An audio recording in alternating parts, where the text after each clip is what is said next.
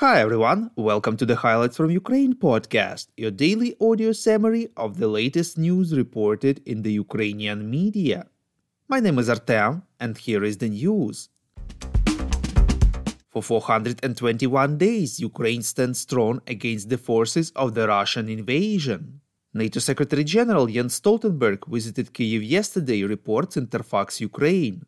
Stoltenberg paid tribute to the memory of the fallen Ukrainian warriors on St. Michael's Square, visited Bucha in the Kiev region, and met President of Ukraine Volodymyr Zelensky.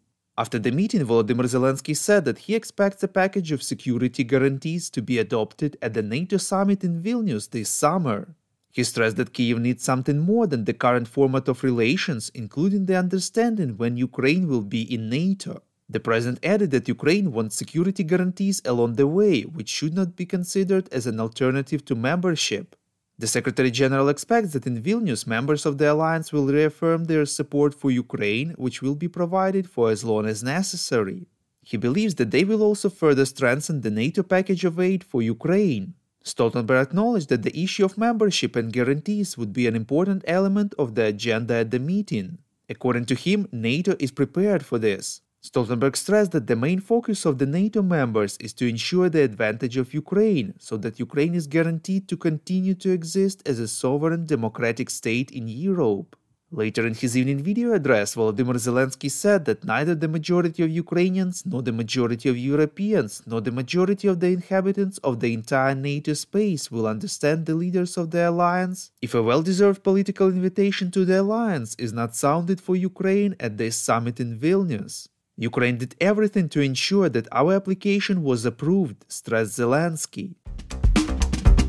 Volodymyr Zelensky asked Secretary General Jens Stoltenberg to help overcome the restraint of partners in the supply of some weapons, namely long range modern aviation, artillery, and armored vehicles, reports Ukrinform. Zelensky also told the media that this visit is a symbol that NATO is ready to start a new chapter in relations with Ukraine.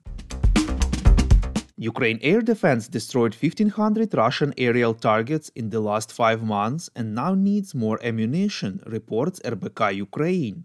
According to the Air Force Command, since the start of the full fledged war, Ukraine overall destroyed another 600 units of manned equipment, planes, helicopters, at least 1,500 unmanned aerial vehicles. Now Ukraine is waiting for the necessary supply from partners. Denmark and the Netherlands announced plans to hand over 14 Leopard 2 tanks to Ukraine, reports Militarny. According to the Danish Defense Ministry, these tanks for Ukraine will be purchased from German industry. The overall budget of this package of support is about $147 million. It is expected that the Leopard 2 tanks could be delivered in early 2024. Estonia to send a batch of ammunition for 155mm artillery to Ukraine, reports Deutsche Welle. According to the Defense Ministry, it will be sent within Estonia's initiative to send 1 million shells to Ukraine, approved by the EU. The country will also send night vision devices and ammunition for small arms to Ukraine. The ministry didn't provide any further details. The EU can't launch a 1 billion euros worth ammunition provision plan for Ukraine due to France-Poland disagreement, reports European Pravda. The main issue of the dispute is how much this ammunition provision contracts should be restricted to manufacturers from the EU and whether companies from countries such as the US and the UK should be included in the program.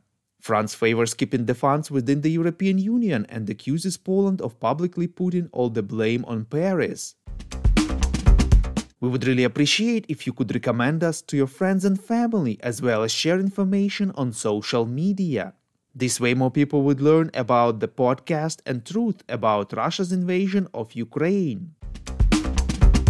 Russian media inform about two unidentified drones, reports Ukrainska Pravda. A drone allegedly launched from Ukraine has exploded in Belgorod Oblast, Russia. Another drone equipped with a camera crashed at the aircraft parking area at Pskov airport. No explosives were found in the second drone. A Russian aviation bomb fell off the Su-34 fighter bomber and exploded in Belgorod, reports ICTV. The Russian aerospace forces informed that the residential buildings were damaged as a result of the incident, but there were no victims. At the same time, local media reported that four apartments and several cars were damaged, two people were injured. The Washington Post informs that Ukraine's intelligence was preparing strikes on Russian troops and mercenaries of the Wagner private military company in Syria with the participation of Kurdish formations, reports Ukrainska Pravda. The leak of the secret US document shows that the purpose of opening a new battlefield thousands of kilometers from Ukraine was to impose costs and losses on the Russian army and the Wagner group, which is active in Syria, which would probably force Moscow to redeploy its resources from Ukraine.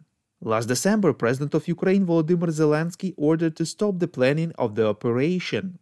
The media believes that possible reasons were pressure from the US, the limitations of Ukrainian drones, doubts that the attacks could be successful, or the success of military intelligence operations in Russia. Kyiv began creation of the National Military Memorial Cemetery, reports Ukrenews. According to the mayor of Kyiv Vitaly Klitschko, it will be situated near the neighboring settlement of Bykivnya, the total area of the cemetery will reach almost 100 hectares.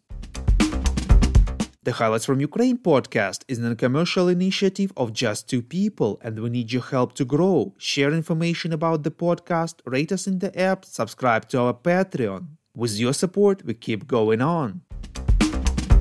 We call on you to demand from governments of your countries to impose the toughest sanctions possible on Russia and its citizens to stop their invasion of Ukraine.